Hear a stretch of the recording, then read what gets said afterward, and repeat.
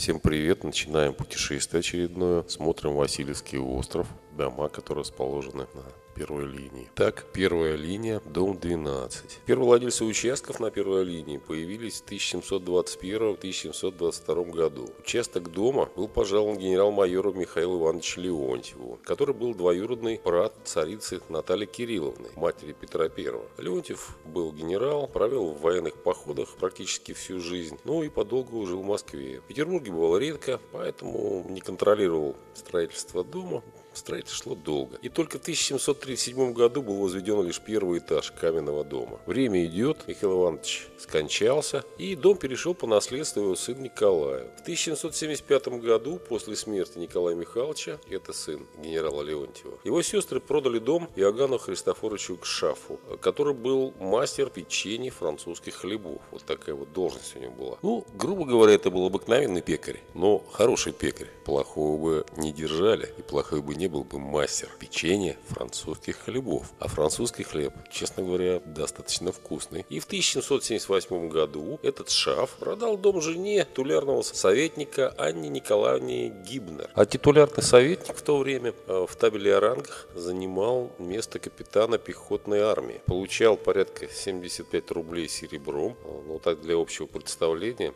к примеру, в 1796 году за рубль ассигнациями давали 68 копеек копеек. Вот. А пуд мяса стоил 30 копеек, пуд хлеба 10 копеек. За день рабочий зарабатывал ну, где-то на 3 килограмма мяса, чтобы быть в курсе событий. Капуста белая ведро стоила 25 копеек, пуд коровьего масла 2 рубля. Вот это просто такие общие представления, сколько получил. А он получил 75 рублей. В 1785 году этот Гибнер продает дом уже жене калужского купца Пелагеи Гавриловне Глуховой. Ну, да, видимо, и подстроила во дворе каменный флигель. В XIX веке владельцем дома становится коллежский секретарь, позднее надворный советник Алексей Кузнецов. В 1807 году участок был переписан на имя его жены Алексея Кузнецова. Тоже, наверное, не хотел, чтобы на нем висел участок. Но мы не знаем, это тайна. И вот последний раз Кузнецова упоминается как владелица дома в 1809 году. В 820 году владелица дома упоминается уже майорша Басова. То есть вот так вот, э, видите, как передавался дом. В 820 1929 году дом Басовый приобрел на имя своей жены, опять же, обратите внимание, на имя своей жены, начальник военно-топографического депо генерал-майор Федор Федорович Шуберт. Федор Федорович Шуберт родился в Петербурге в феврале 789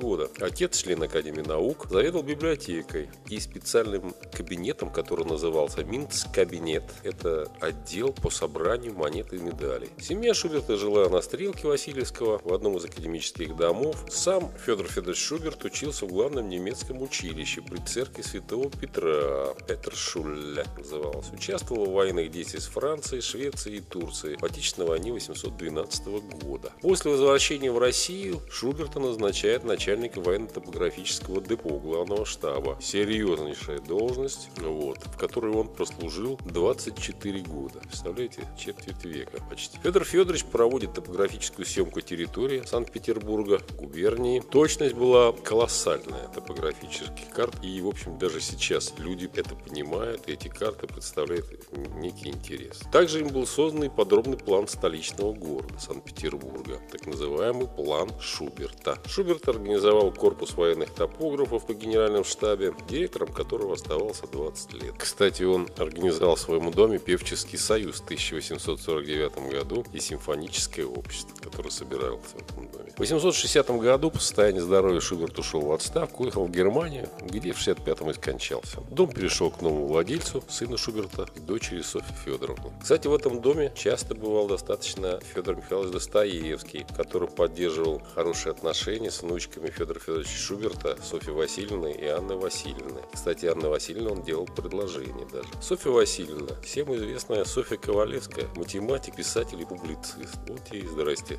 Кажется, здесь жила и бывала Софья Ковалевская. Ковалевская. Кстати, потом уехала за границу и преподавала в Стокгольмском университете. В этом же доме, квартиры которого стали сдаваться в наем, поселились супруги Ковалевские. Но разыгралась трагедия в семье Ковалевской. Муж покончил жизнь самоубийством, он неудачно заключил сделку и отравился хлороформом. Ему было 40 лет. Это так, ремарка. Ну а Шубер-младший скончался в 1877 году. И оба дома, 12 и 14, остались во владении Софьи Федоровны Шубер, а после смерти перешли к Федору Федоровичу Корн-Круковскому, брату Софьи Ковалевской. В 1893 году оба дома купил Борис Константинович Веселовский, это хранители отдела рисунок и гравюр в императорском Эрмитаже. В 1915-м новым владельцем стал Сергей Николаевич Белоруков и Николай Павлович Козлов. После революции дом не подвергался переделкам, а в начале 30-х проводились работы по ремонту фасада. Вот такая история дома по адресу первая линия, дом 12. Все, всем пока, всем привет, до свидания.